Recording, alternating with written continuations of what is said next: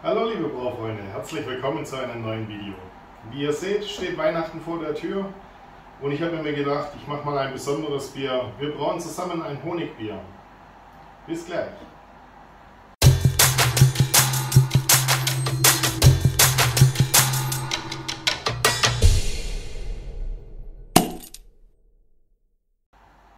Ja, wie gesagt, möchte ich mit euch ein Honigbier äh, brauen und natürlich ist es eigentlich kein klassisches Bier. Wir haben in einer der letzten Videos, ich verlinke es euch vielleicht noch, wenn ich es nicht vergesse, ähm, haben wir das Obamas Honey Ale gemacht. Da war ja ein klassisches, klassischer Brauprozess mit Malz, mit Hopfen und der Honig kam zum Schluss nur noch mit dazu. Man hat da ein bisschen Malz gespart und hat dann eben durch den Zucker von dem Honig dann noch was zugegeben. Ähm, wir haben das Bier, habe ich auch verkostet. Da ist ein bisschen Honiggeschmack drin. Er verliert sich aber relativ schnell schon wieder. Und ähm, ich habe jetzt auch über den Zeitraum und der Reifeprozess, wo es fortgeschritten ist, ein bisschen schon den Honiggeschmack vermisst. Dann habe ich gedacht, ja, was wäre denn, wenn ich mal ein reines Honigbier mache? Also es gibt ja Honigmet, kennt ihr auch, was ist das von den Urzeiten, was die Wikinger früher immer so, oder Honigwein, was die dann immer so getrunken haben, was so die ersten eigentlich alkoholischen Getränke auch waren. Ähm, genau, dann habe ich mich mal im Internet ein bisschen schlau gemacht und ähm, bin über einige Rezepte drüber gestolpert und bin zu dem Schluss gekommen, ich möchte mal das Malz komplett weglassen. Daher natürlich schwierig, Reinheitsgebot etc. Aber wie immer, ich bin Hobbybrauer. Ich mache das nicht beruflich, ich mache das für mich, für meine Freunde, und experimentiere da gerne. Deswegen ist es da kein Problem. Man darf es nicht unbedingt Bier nennen, kann man sich auch drum streiten. Ich möchte es nicht vermarkten, von daher ist es bei mir einfach ein Honigbier. Genau. Was brauchen wir fürs Honigbier? Natürlich brauchen wir dazu Honig. Ich habe hier jetzt Blütenhonig von einem Freund, äh, vom Thomas, mir organisiert bzw. gekauft, regulär. Ähm, habe absichtlich keinen günstigen äh, Discounter-Honig genommen, sondern schon einen hochwertigen Honig. Ich verspreche mir davon, dass wir nachher auch mehr Geschmack haben. Wie es dann nachher rauskommt, und ich weiß es nicht, ich habe es selber noch nicht ausprobiert. Deswegen werde ich jetzt auch bei dieser Geschichte erstmal nur 10 Liter machen. Das ist auch schon viel. Aber wenn es dann wirklich nichts ist, ähm, dann ähm, ja, ist es nicht unbedingt schlimm. Das sind halt 10 Liter Bier oder Bier wird es eigentlich werden, davon gehe ich aus. Aber dann sind es halt nur 10 Liter, die kaputt sind. Und ich habe ja hier jetzt schon 1,5 Kilo Honig. Das ist ja schon ein Wort. Jeder weiß, was Honig mittlerweile kostet. Ähm, ist es jetzt nicht unbedingt das Bier, wo ich jetzt sage, ja, das kann ich dann nachher mit einem Standardbier im normalen äh, Bereich vergleichen. Das kann ich natürlich nicht, weil so ein Glas Honig ich müsste jetzt lügen, aber um die 10 Euro, wenn man so bei einem normalen Standard-Imker seines Vertrauens das einkauft, bin ich mit Sicherheit bei einem Blütenhonig bei 10 Euro oder so. Wenn ich einen Waldhonig oder so nehme, mache schon noch deutlich höher. Aber es ist natürlich ein Qualitätsprodukt und ich finde es auch toll, dass die Leute, dass es noch Leute gibt, die das machen, die das noch wirklich betreiben, weil ich bin auch kein Fan von dem Industriehonig und ein bisschen Handwerk müssen wir uns ja auch noch beibehalten. Genau. Als Hefe habe ich dann hier ähm, eine Flüssighefe, die Independence mir einfach ausgesucht. Ähm, ja, hatte jetzt keinen speziellen Grund. Ist eine Hefe, ist eine Standardhefe, die eigentlich mit allem so zurechtkommt, die ich dann eben auch so bei 22 Grad äh, vergären kann. Das ist so die Raumtemperatur, die ich habe, weil ich jetzt nicht unbedingt dafür die Kühlung anschmeißen wollte. Dann habe ich mir gedacht, den Lemon Drop, das ist für mich, ich finde es ein relativ äh, toller Hopfen. Den möchte ich dafür verwenden und ich verwende dann eben 9 Liter klares Wasser. Da werden wir jetzt quasi erstmal 10 Gramm eine Stunde lang drin kochen. Dann kurz vor Kochende werden wir nochmal 20 Gramm drin auffüllen und dieses Aroma, dieses Zitrusmäßige dann noch ein bisschen rauszukitzeln. Dann werde ich den Kocher abstellen, werde das ein bisschen abkühlen lassen und dann werde ich den Honig zugeben, das unterrühren. Und dann werde ich auch nochmal was ganz Verrücktes machen. Ich werde es diesmal in einen äh, umfüllen. Ich werde es nicht runterkühlen, sondern ich werde es einfach umfüllen. Werde es über Nacht runterkühlen lassen auf die 20 Grad oder 22 Grad Anstalltemperatur und werde die Hefe erst morgen zugeben.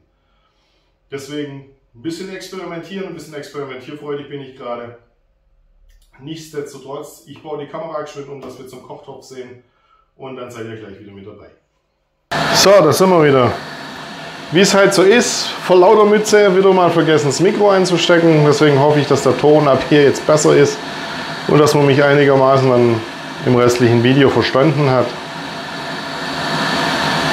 Ja, die meine Videos regelmäßig gucken, wissen, ich und Mikro oder Ton immer wieder Probleme.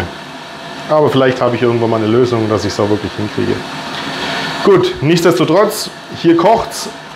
10 Gramm Lemon Drop Hopfen. Da reingeben. Ähm ja, das riecht schon richtig toll. Ähm, genau. Die, die wir jetzt am Anfang reingegeben hatten, diesen Hopfen ist immer für die bittere gedacht. Den Hopfen, den wir dann kurz vor Kochende reingeben, der ist dann dazu gedacht, dass wir noch ein bisschen ähm, den Geschmack aus dem Hopfen kriegen. Genau. Das Ganze kocht jetzt eine Stunde. Guck hier mal auf die Uhr. Und dann hole ich euch wieder mit hinzu, wenn es darum geht, dass wir den Honig zugeben. Bis dann.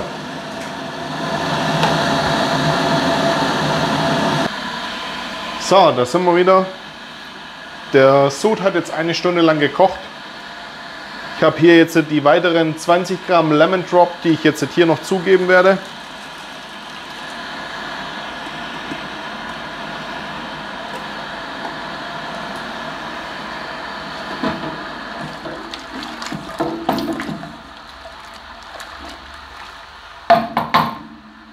So, und ich lasse das Ganze jetzt einfach noch kochen, während ich jetzt den Honig zugebe. Ich werde dann nachher noch versuchen, die Gläser noch ein bisschen auszuspülen. Der Klassiker. Da brauche ich wohl was, um das da rauszuholen.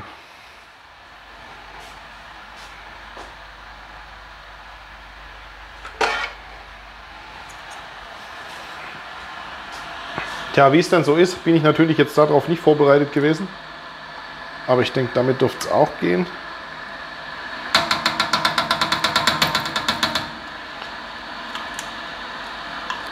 Und dann macht es natürlich Sinn, die Gläser, wenn das, der Honig so fest ist, dann danach auch noch auszuspülen.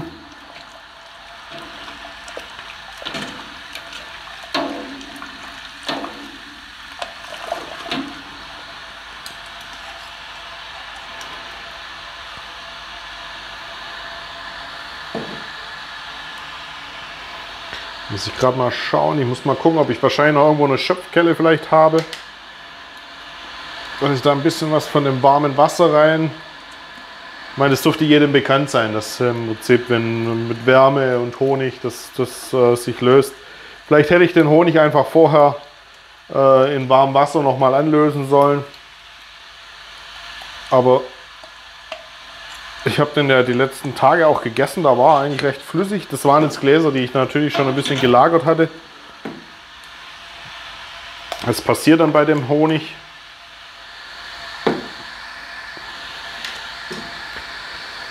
Das ist auch nochmal eine interessante Sache, die ich vielleicht mal den Thomas fragen müsste. Wie, wie man es eigentlich schafft, dass der Honig flüssig bleibt.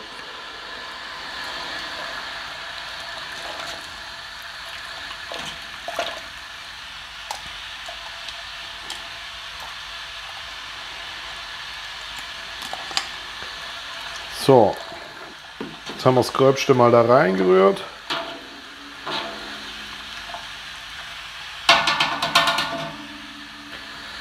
Seite stellen.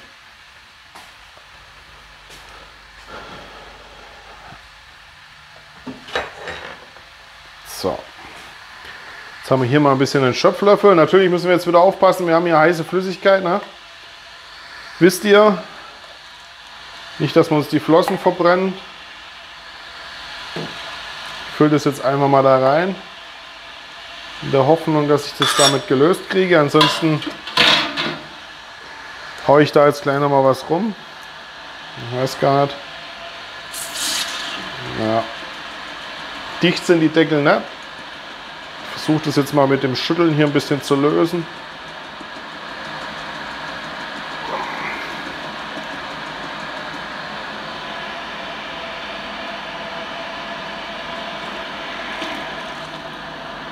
Ja, da ist immer noch massig drin. Nochmal einen Schöpfer rausnehmen.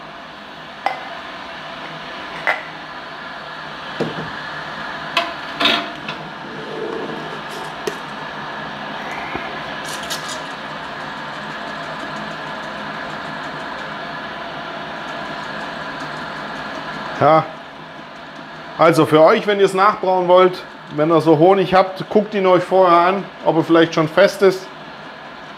Dann einfach mit dem Glas komplett in warmes Wasser stellen. Ich glaube 30 Grad reicht da aus. Dann wird er wieder flüssig, dann kriegt man auch leicht aus dem Glas. Dann habt ihr jetzt nicht so eine ein Geschüttele wie ich. Wobei das natürlich auch geht. Ich meine, wir sind hier noch auf Kochtemperatur. Da brauche ich mir mit der Infektion jetzt noch keine Gedanken machen. Der Honig an sich selber zählt ja auch als äh, desinfizierend. Ich tippe das jetzt gleich mal raus. Gleich mal nochmal warm rein.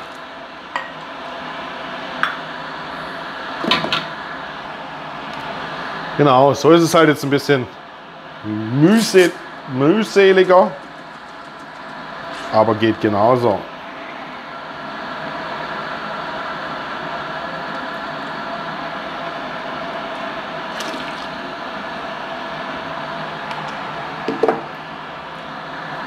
Jetzt werden die Gläser ein bisschen warm. Ich gucke gerade noch mal, ob ich irgendwas finde.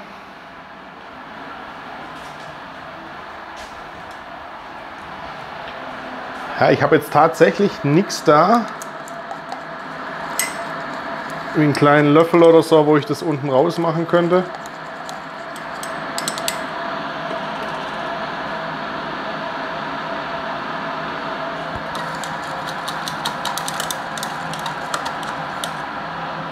Dass man da schön in die Ecken kommt.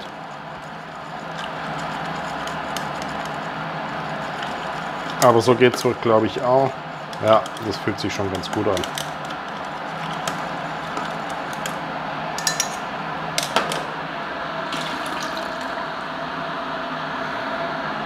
Noch einmal einen Schöpflöffel rein.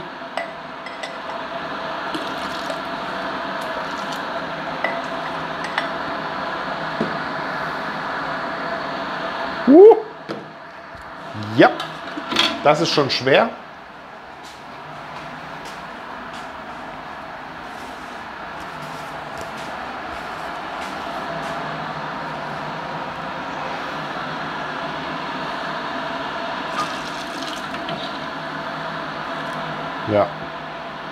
Da braucht nichts mehr rein, das ist sauber soweit. Und hier nochmal was rein.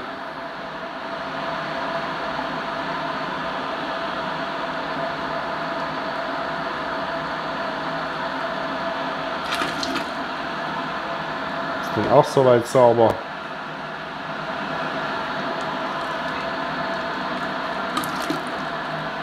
So, damit haben wir den ganzen Honig jetzt da drin stelle das Ganze jetzt ab.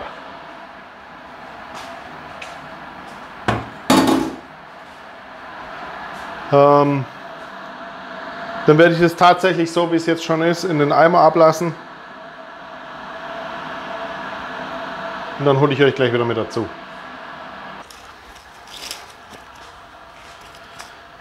So, ich habe jetzt hier mal geschwind umgebaut und habe hier meinen desinfizierten Eimer drunter gestellt.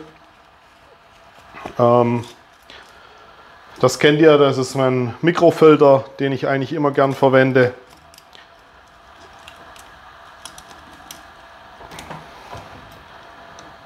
Zusätzlich zum Whirlpool.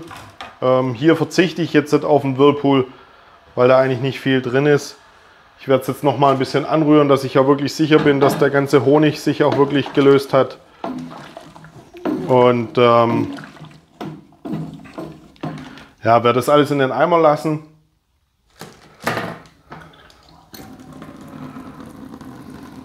Gehe jetzt mal davon aus, dadurch, dass wir eigentlich nicht viel Hopfen drin haben und auch sonst keine Bestandteile, die jetzt den Filter verstopfen könnten, dass wir da relativ zügig durch sind.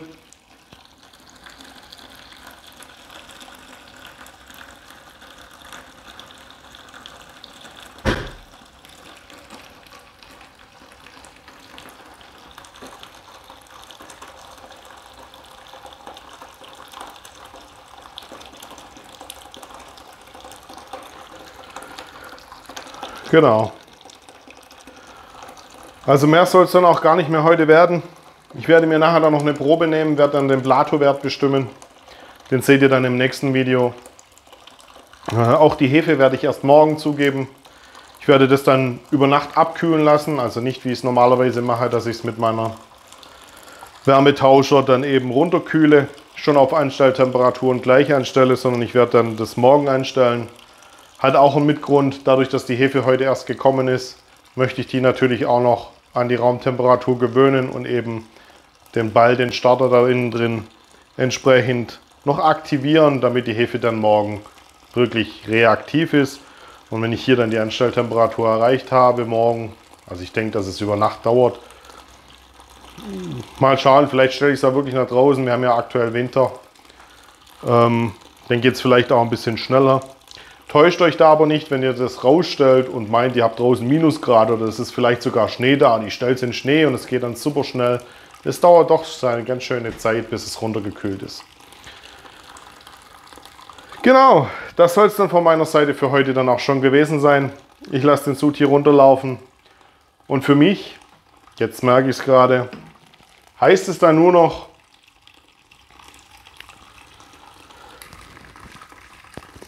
euch schöne Weihnachten zu wünschen und natürlich Besinnlichkeit mit eurer Familie. Feiert schön, genießt die Zeit mit eurer Familie, genießt die freie Zeit. Ich hoffe, ihr habt bis übers neue Jahr hinach frei und hoffentlich fällt auch die Bescherung nach euren Wünschen aus. Ich gehe jetzt gleich noch zum Heiligen Vormittag. Vielleicht treffe ich den einen oder anderen ja noch. Und dann bleibt es mir noch für den Rest, der es vielleicht erst später sieht, das Video, ich wünsche euch einen schönen Tag, eine schöne Woche oder ein schönes Wochenende, je nachdem, wann ihr das Video seht. Bis bald!